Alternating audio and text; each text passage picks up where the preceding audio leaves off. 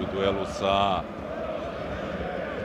Kolonijem ide napred i biće na kraju šansa 3-0. Dolazi Zvezda do gola, Stefan Mitrović.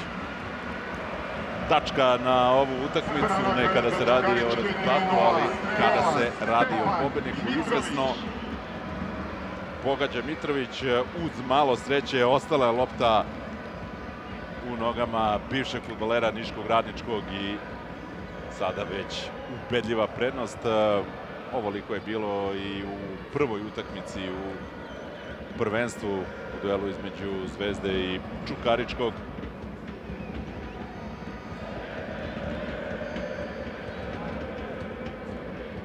Brucev nije bilo ni najspretnije od Drezgića i Miladinovića, malo nisu imali ni sreće futboleri Čukaričkog, a na pravom mestu iz ugla domaćih Stefan Mitrović.